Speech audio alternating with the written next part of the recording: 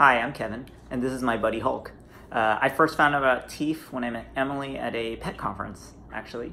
Uh, and I think, like most dog owners, I feel like, you know, I could always do a little better job of taking care of his teeth. Um, and so when she was telling me about TEEF and the product, I thought, oh wow, that's actually really cool. You know, I brush his teeth, I give him greenies, um, but hearing about sort of this easy additive that I could just put in the water that would, you know, help help uh, reduce dental disease, I thought was amazing, almost too good to be true.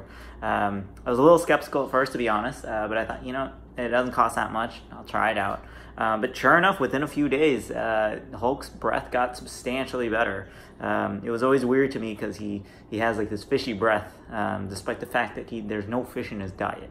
Um, so it's definitely doing something uh, good for his teeth there. So highly recommend you try it.